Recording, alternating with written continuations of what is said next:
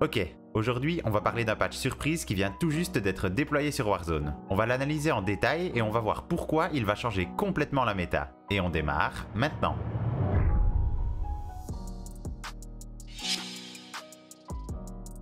Alors là, j'étais carrément pas prêt pour ce patch. J'étais en train de passer un début de soirée tranquille quand j'ai vu que Raven avait déployé une mise à jour et en lisant le patch note, j'ai de suite su qu'il fallait que je me bouge parce que ce que je vais t'annoncer dans cette vidéo va radicalement changer la méta du jeu. On va prendre les choses dans l'ordre et on va commencer par un changement bienvenu pour le mode solo, à savoir la réduction du taux de spawn des camions. On passe donc de 16 à 20 véhicules par partie de BR solo à 5 maximum et ça va faire un bien fou à ce mode de jeu véritablement gangréné par les camions. On a aussi eu droit à une ribambelle de hotfix concernant des bugs mais on ne va pas s'y attarder parce qu'on a bien plus important à voir et ça concerne les armes. La première modification notable se situera au niveau de la CR56 à max puisque son multiplicateur pour les tirs dans la tête passe de 1,62 à 1,5. Concrètement, ça veut dire que les dégâts par balle en headshot passeront de 56 à 52, et Raven justifie ce changement en disant que la Hamax avait continué à dominer le domaine des fusils d'assaut à longue distance de manière disproportionnée. Ils se disent également conscients que ça prendra du temps et d'autres ajustements pour équilibrer correctement la méta, mais ils veulent de toute évidence continuer sur leur lancée de remonter le TTK. Le prochain changement concernera la Farah, son recul et sa dispersion des balles en tir au jugé. On va laisser ce dernier point de côté parce que ce qui nous intéresse surtout ici, c'est son pattern de recul.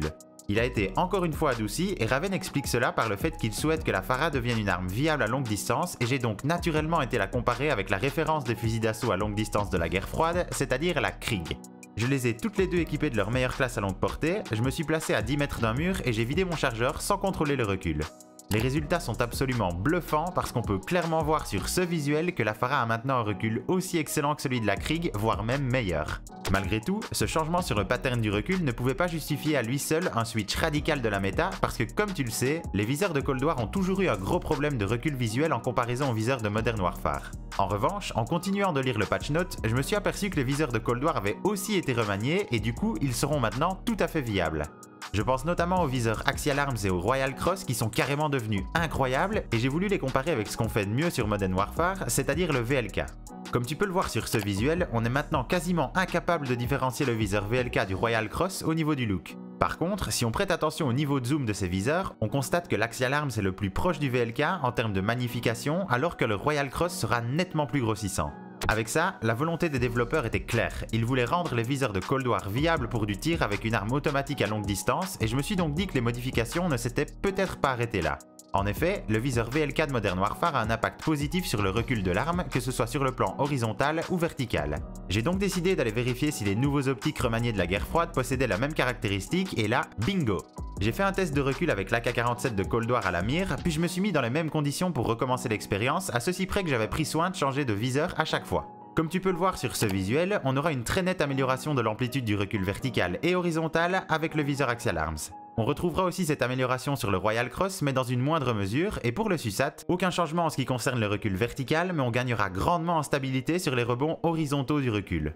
Encore bien que j'ai décidé d'aller checker tout ça, parce que ces modifications sont d'une importance capitale pour décider de la meilleure classe à utiliser en fonction du but recherché. On notera également une amélioration au niveau du pattern du recul de la Hawk de Cold War, et Raven nous dit que ce buff arrive parce qu'ils estimaient que cette arme avait été nerf trop sévèrement. A voir donc, tout ce que j'espère c'est qu'on ne reverra pas une méta Hawk sur Warzone, mais au vu des changements apportés à certains autres éléments, je pense qu'on n'aura pas trop de soucis à se faire à ce niveau-là.